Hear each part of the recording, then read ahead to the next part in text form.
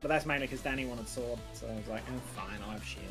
I think I asked Chris which one like he liked the look of, and yeah, we I went with sword and he went with shield because yeah, usually get the two pack and he had one, I have the other. this is shiny Klefki. Oh my god.